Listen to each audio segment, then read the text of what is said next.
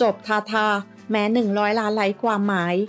ล่าสุดเปรม บุษราคัมวงษ์ หลังวิวาห์สะบั้นหลังหมั้นไม่นาน ก่อนหนีแต่งใหม่เป็นพ่อคน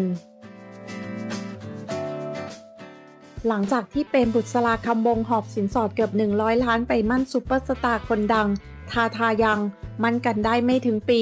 มีเหตุให้รักหน่ายจนถึงขั้นต้องเลิกรา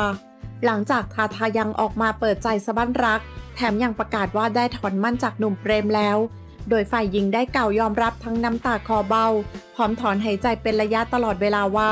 ที่ผ่านมานั้นความสัมพันธ์ระหว่างตนกับแฟนหนุ่มได้ห่างเหินกันมาได้สักพักแล้ว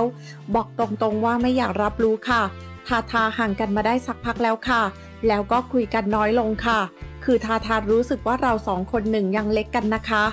แล้วทาทาได้มีโอกาสได้ทำอัลบั้มชุดนี้ด้วยมีโอกาสดีๆ ทาทาคบกับเปรมทาทาถือว่าทำดีที่สุดแล้ว วันนี้เราก็ทำดีที่สุดเช่นเดียวกัน ย้ำต่อไปนี้ทั้งคู่ให้อิสระกันและกัน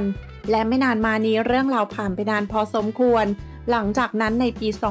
2558เป็นบุษราคำวงแต่งงานแคโร แฟนสาวชาวเกาหลีใต้ จัดพิธีมั่นแบบสองสัญชาติ ฝ่ายชายสวมชุดฮันบกของเกาหลี ฝ่ายหญิงสวมชุดไทยท่ามกลางญาติสนิทมิตรสหายและผู้ใหญ่จากทั้งฝ่ายเจ้าสาวและเจ้าบ่าวที่มาร่วมแสดงความยินดีภายในงานมั่นดังกล่าวเปรมได้ใส่ชุดฮันบกประจำชาติของเกาหลีใต้ เมื่อปี